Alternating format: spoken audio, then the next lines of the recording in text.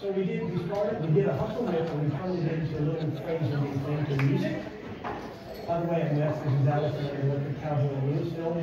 So in a hustle whip, I trap into my right side on the and of six, and, and, of, one, two, three, and four, trap five. I brought her four with my right hand, I'm leading her finger with my left hand, six and seven, eight, one, two, three, and four. Sorry, that I messed that up for everybody.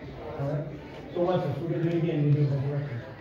One, two, three, and four, five, six, and seven, eight, one, two, three, and four, five, and six. Let's go to the. Ye hearts. Ready?